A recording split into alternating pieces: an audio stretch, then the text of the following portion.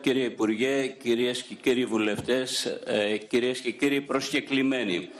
Όπως είπε και ο Παντελής ο Τάτσης προηγούμενα, είμαστε σε μια θέση σήμερα να γνωρίζουμε από παλιότερα την πορεία της κοινωνικής ασφάλισης.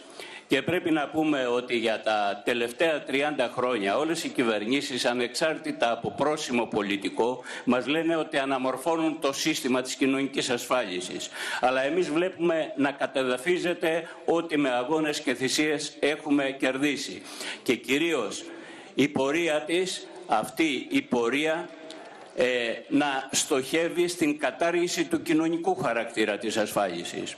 Με το σημερινό νομοσχέδιο που η κυβέρνηση της Νέας Δημοκρατίας έρχεται και καταθέτει το Υπουργείο Εργασίας, ό,τι προηγούμενα μας έχει αφαιρεθεί, ό,τι μας τσάκισε τη ζωή, ό,τι όσες περικοπές και αν έγιναν αυτό το διάστημα και οι περικοπές αυτές είναι πάρα πολύ μεγάλες, έρχονται να υιοθετηθούν.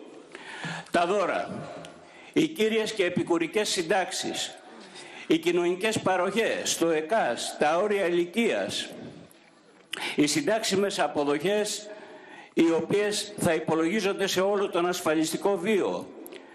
Ε, από 30 χρόνια και κάτω δεν θα πάρει κανείς συνταξιούχος τίποτα. Και φυσικά με 9.000 ένσημα γιατί δεν είναι μόνο τα 30 χρόνια.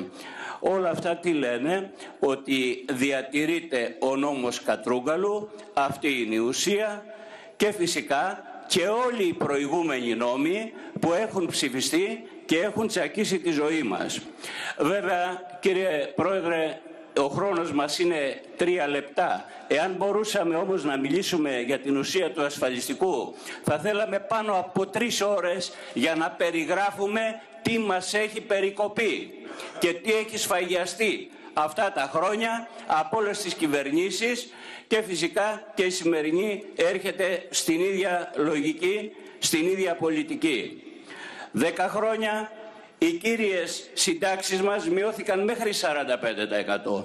Μέχρι 80% οι επικουρικές συντάξεις. Και φυσικά όλα εκείνα τα χρήματα που αφαιρέθηκαν από μας είτε με το PSI 40 δισεκατομμύρια, είτε από αυτές τις περικοπές 80 δισεκατομμύρια, είτε αν υπολογίσει κανείς ότι δεν έγινε τιμαριθμική αναπροσαρμογή και δεν δόθηκε καμία αύξηση ή τα όρια ηλικίας αυξήθηκαν στα 67 χρόνια και πάνω, για 70 θα πηγαίνει τώρα με τα 70 χρόνια, όλα αυτά δείχνουν πραγματικά ότι το κοινωνικό ασφαλιστικό σύστημα άντεχε. Αλλά όλα αυτά τα χρήματα που δόθηκαν δεν πήγαν στις έπες των συνταξιούχων όπως μας έλεγαν αν τελειώσει η κρίση, ούτε θα πάνε. Πάνε στις τσέπες των επιχειρηματικών ομίλων, τελειώνω κύριε Πρόεδρε, πάνε στην ανακεφαλαιοποίηση των τραπεζών, πάνε σε εκείνους που πραγματικά επιδιώκουν και θέλουν η κοινωνική ασφάλιση και ο κοινωνικός τους χαρακτήρας να καταργηθεί, βρήκαν εύκολο χρήμα, το άρπαξαν και τώρα συνεχίζονται οι ίδιες πολιτικές. Λέτε ότι η κρίση τελείωσε. Εάν τελείωσε η κρίση, ας τελειώσει και για μας. Αρχίστε από κάπου.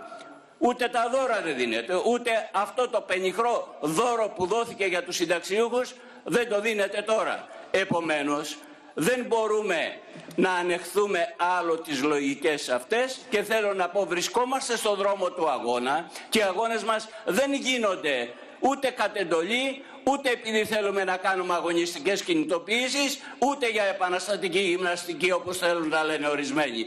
Οι αγώνες μας έχουν πραγματική, υπαρκτή βάση στα μεγάλα προβλήματα, στα μεγάλα προβλήματα των συνταξιούχων, γιατί διεκδικούμε, κύριε Πρόεδρε, ό,τι μας έχει αφαιρεθεί, δεν το χρωστάμε σε κανέναν δανειστή, δεν το δανειστήκαμε από κανένα τραπεζίτη, δεν μας το έδωσε καμιά κυβέρνηση και το απαιτούμε να το πάρουμε γιατί είναι πληρωμένα όλα αυτά από εμάς και θα τα διεκδικούμε να το ξέρει και η κυβέρνηση μέχρι το τέλος. Σας ευχαριστώ.